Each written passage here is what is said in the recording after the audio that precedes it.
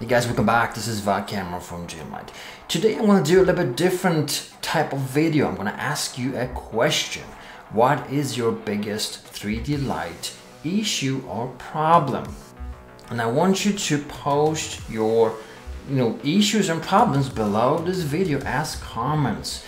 And I'm going to answer those. I'm going to gather those and answer those in the next week following this video.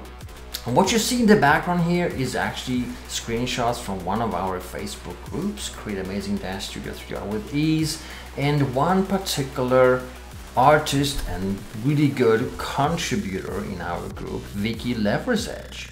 I've uh, worked with Vicky a few projects before. She's really, really talented and really excels at lighting and producing good moods and all that.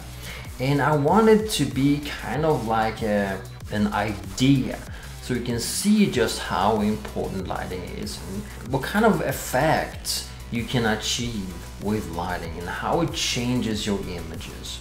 So with that in mind guys, go ahead and post your issues below this video as comments, alright?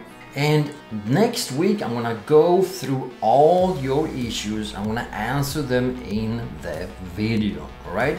So let's have a little bit of fun. Let's change things around instead of just me talking to you.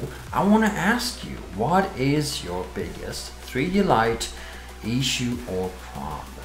And frankly, it doesn't really matter what kind of software you're using.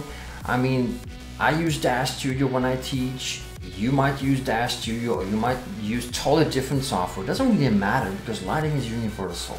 The same rules apply to any 3D software. So guys, go ahead, have some fun. Post your you know issues and comments below. And I'm gonna see you next week when we answer those.